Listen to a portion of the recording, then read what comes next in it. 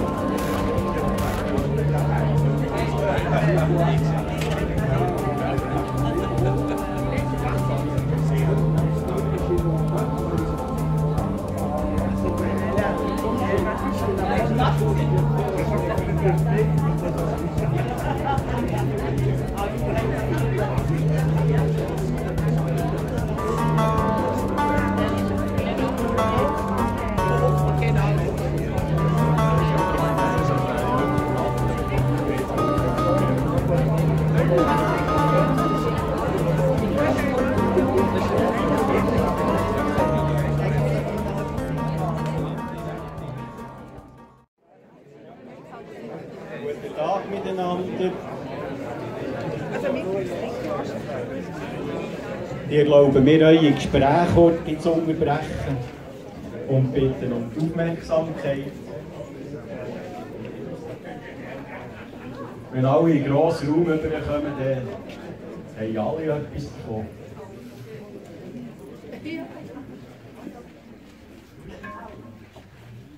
Noch einmal guten Morgen. Bei diesem Winterwetter. Schön kommt ihr auf die Bühne. Schön kommt ihr die Ausstellung, die so viele Leute konzipiert, zu uns schauen.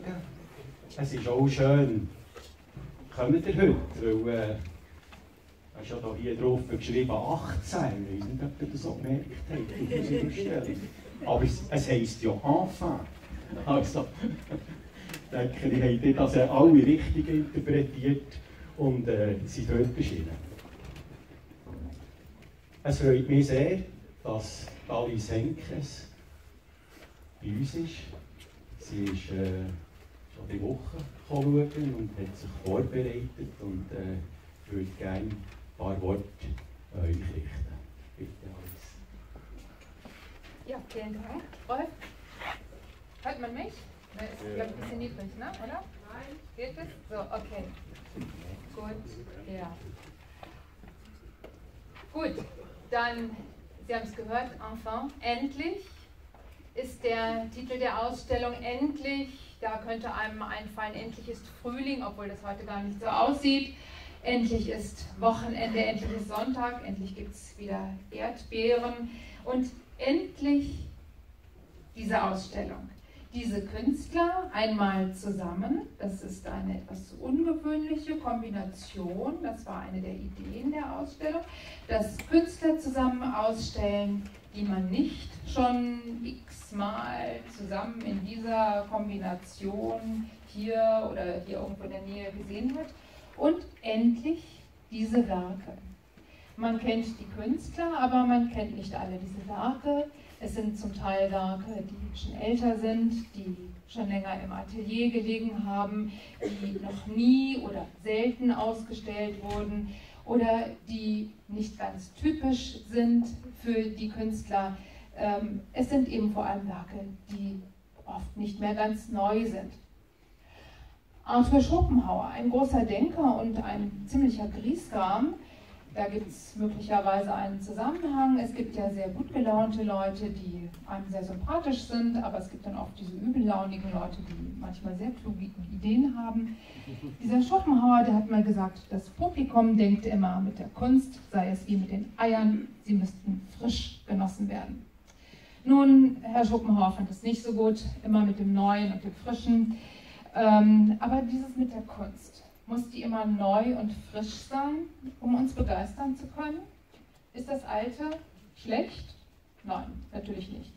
Denken Sie an all die Menschen, die in ferne Länder reisen, die Löcher in den Boden buddeln und in Höhlen herumkriechen, um dann mit irgendwelchen Krügen oder Keiläxten oder irgendwas hervorzukommen und mit diesen Hinweisen darauf, wie wir als Menschen das wurden, was wir heute sind.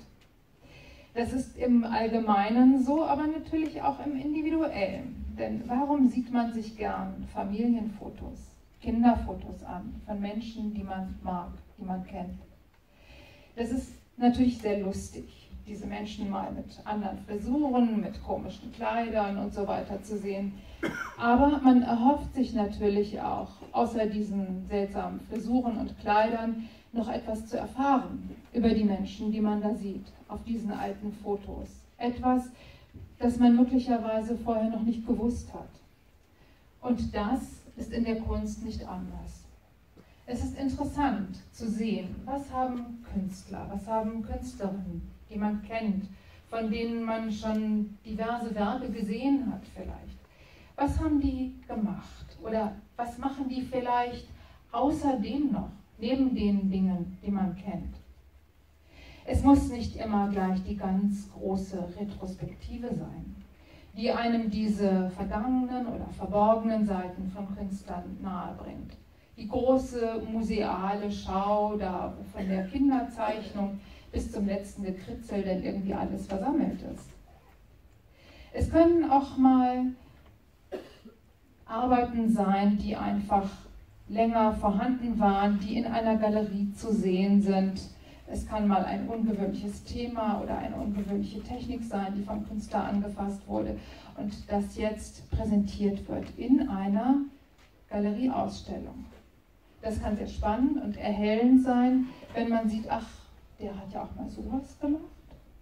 Die hat mal mit diesem Thema gearbeitet. Und da ist hier noch eine ganz andere Seite. Und endlich, enfin, unser Ausstellungstitel, lerne ich diese Seite kennen. So ging es mir, als ich in der letzten Woche hier reingekommen bin in die Ausstellung mit den Bildern von Rudi Schwien. Also eines davon ist jetzt hier so schräg hinter mir. Äh, Rudi Schwinn und ich, wir kennen uns seit Jahren, seit einigen Jahren, aber nicht so lange oder so eng, dass ich jetzt sein komplettes Werk vor meinem inneren Auge hätte. Und ich war wirklich überrascht, als ich hier reingekommen bin und dann habe ich Arbeiten gesehen wie dieses Bild und ich dachte, oh, das ist vielleicht so ein Künstler, den ich noch gar nicht kenne. Und äh, nein, also es sind Bilder von Rudi Schwien und ich dachte, das ist ja doch interessant, dass der so Science-Fiction-artige Landschaften gemalt hat. Hätte ich gar nicht gedacht. Äh, für mich ganz unerwartet. Und äh, es sind aber auch Arbeiten hier in der Ausstellung, die ich sofort als seine Arbeiten erkannt habe.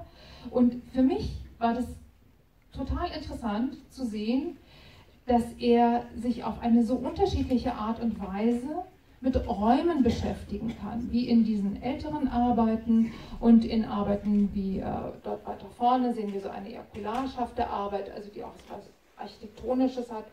Und äh, dass diese Beschäftigung mit einer bestimmten Idee, dass diese Art, die Welt anzuschauen, dass die so sehr unterschiedliche Formen annehmen kann. Und das ist für mich eine große Qualität dieser Ausstellung, dass sie nicht nur Werke zeigt, die vielleicht schon ein bisschen älter, vielleicht ein bisschen ungewöhnlich sind, sondern dass sie zeigen kann, wie Künstler eine Idee auf unterschiedliche Weise verfolgen können.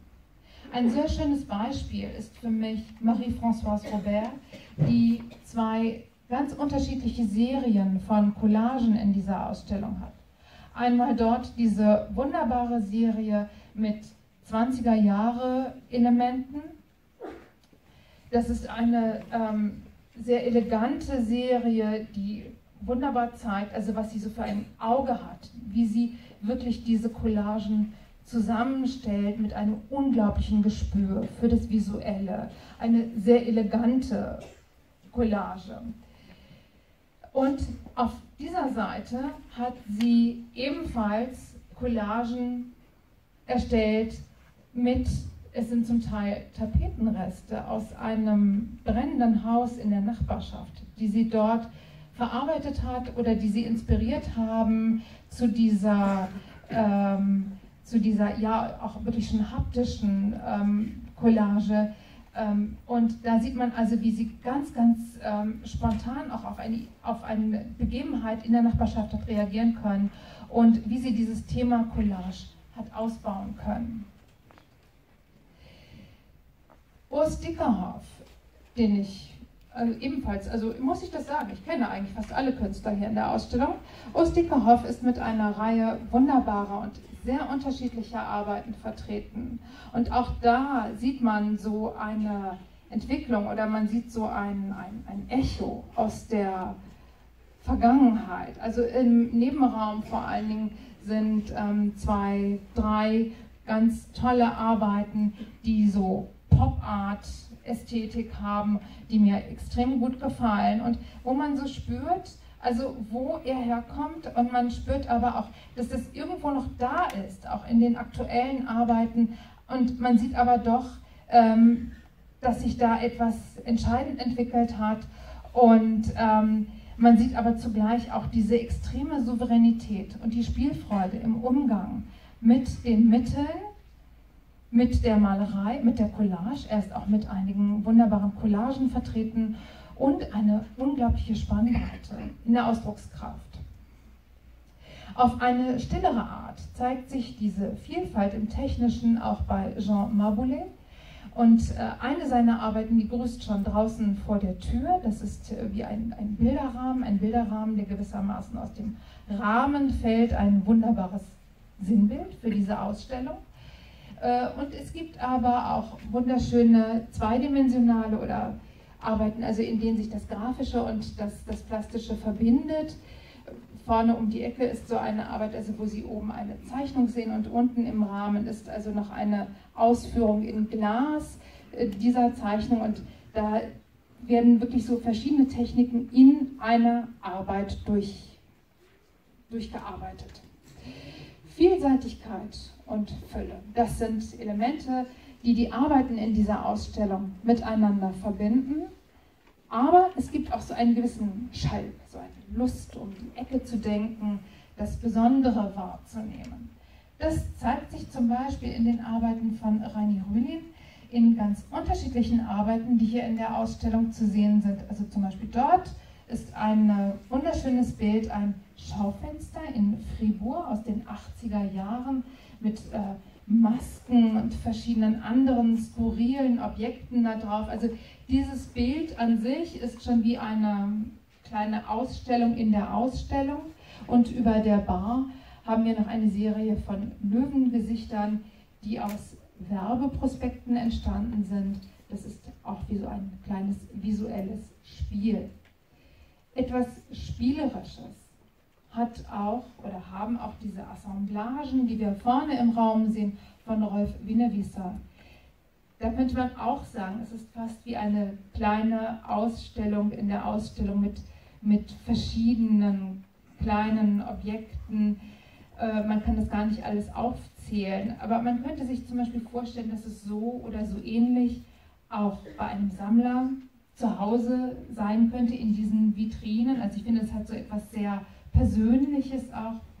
Und ähm, das war eigentlich auch eine Idee dieser Ausstellung, eine Situation zu schaffen, die nicht so galeriemäßig steif wirkt, sondern auch ein bisschen gemütlich, so ein bisschen lebendig. Und äh, die zeigt also, wie Kunst sich auch ins Leben einbringen kann und wie Kunst sich aber auch immer wieder aus dem Leben speist, wie sie vom Leben inspiriert wird. Und das sieht man auch vorne in diesen Arbeiten von Rolf Winnewisser. Also zum Beispiel, was mir besonders gut gefällt, das ist dieser kleine Wagen, der dort auf dem Podest steht mit diesen Singles als, als Rädern. Und äh, also diese Singles, eine der Singles äh, stammt von der britischen Soul-Sängerin Dusty Springfield die hier noch ein zweites Leben erhält, sozusagen, indem sie die Kunst ins Rollen bringt. Und ich habe ähm, mir bei der Vorbereitung dieser Rede, habe ich mir auf YouTube nochmal ähm, ein paar Sachen von ihr angehört, weil ähm, ich bin noch nicht so alt, also für mich ist sie jetzt nicht mehr so ähm, ganz so meine, meine Zeit. Und ich war aber doch überrascht, also das wäre eine tolle Stimme. Diese Frau hat äh, auch das, könnte durchaus eine Anregung dieser Ausstellung sein, sich mal wieder ähm, Platten anzuhören von Leuten, die man lange nicht gehört hat. Kunst reagiert auf ihre Zeit, auf ihre Gesellschaft. Kunst reagiert aber auch auf Kunst. Künstler, die in ihren Werken immer wieder sehr viel auf andere Kunst, auf andere Kulturgüter, auf Popkultur, aber auch auf Hochkultur reagieren. Das sind MS Bastian und Isabel L.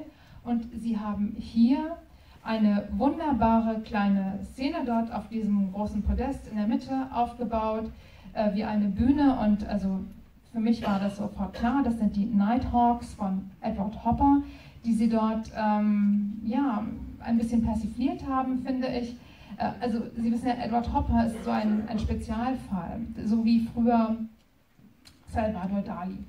Also den durfte man ja eine Zeit lang nicht mehr gut finden, weil diese brennenden Giraffen und die schmelzenden Uhren, die hingen auf jedem WG-Klo. Äh, und als man die dann endlich abgehängt hat, dann hat man Edward, Edward Hopper aufgehängt, vor allen Dingen eben diese Nighthawks. Und, äh, aber auch Edward Hopper ist heute, ähm, wie, oh, jetzt fällt mir gerade das Wort hier an, er ist wieder re-etabliert. Und äh, also man äh, und ich finde, das ist eine ganz tolle Arbeit. Es ist ein bisschen mehr los als bei Edward Hopper. Bei Edward Hopper sitzen da nur so zwei verunglückte Gestalten und der Barkeeper ist noch da und da ist richtig Stimmung in der Bude. Ähm, aber gut, Hopper war auch eher ein äh, depressiver Typ und wahrscheinlich auch so ein bisschen griesgrämig wie der Herr Schopenhauer, über den wir vorhin schon gesprochen haben. Und das, äh, in dieser Arbeit sieht man dann aber auch noch seine düstere Gestalt da im Hintergrund rumschleichen, wie der böse Wolf. Man sieht den ja vorne auch nochmal in groß. Aber es könnte auch ähm, ein enger Verwandter von Edward Hopper oder Schopenhauer sein, also so ein Griesgram, der da durch die Szene ähm, sch schleicht. Und es ist ein enger Verwandter dieser Gespenster, dieser Geister, die hier schweben und ich habe gedacht, MS Bastian und Isabel äh, leben mit diesen etwas düsteren Figuren eine dunkle Seite aus, die es in ihrem Werk durchaus immer gibt, die aber deutlich weniger präsent ist als diese etwas fröhliche, comichaft fröhliche Seite. Diese dunklen Geister, diese dunkle Seite schafft auch eine Verbindung zu den Bronzearbeiten, die Sie etwas weiter vorne im Raum sehen. Und das war eine große Überraschung für mich. Das sind ganz tolle Arbeiten. Das sind Arbeiten von Viktorin Müller. Mich haben sie ein wenig an HR Giger erinnert, also weil sie so auch etwas leicht Abgründiges haben. Fans von Viktorin wissen, die waren schon mal in Bern zu sehen. Sie sind aber nicht so bekannt, dass jeder sie sofort mit ihr in Verbindung bringen würde. Ähm, ich denke, vielen geht es wahrscheinlich wie mir. Bei Viktorin Müller denkt man zuerst an ihre Performances, an ihre großen, transparenten Objekte, halb Tier, halb Pflanze. Das Dunkle, das Albtraumhafte, das ist doch ein bisschen überraschend bei ihr. Hier in der Ausstellung sehen wir es zusammen mit einigen sehr schönen Zeichnungen und einer Videoarbeit, die ganz vorne zu sehen ist, eine Videoarbeit, die äh, doch aber ganz neu ist und äh, die etwas, ein, eine performanceartige Arbeit zeigt, äh, in der die Künstlerin im Wald zu sehen ist. Sie wird Teil des Waldes auf eine sehr leichte, selbstverständliche und zugleich aber auch sehr poetische und vieldeutige Art. Und diese Arbeit im Wald, die führt mich zurück zum Frühling, der uns heute ein bisschen ähm, enttäuscht, aber der mich dann wieder verbindet mit dem Titel der Ausstellung Enfin, endlich, endlich Frühling. Endlich aber wird auch ihre Geduld belohnt und diese Rede findet ein Ende und Sie können den Vormittag weiterhin, oder Mittag ist es jetzt eigentlich schon, weiterhin genießen und die Kunst in dieser Ausstellung. Danke.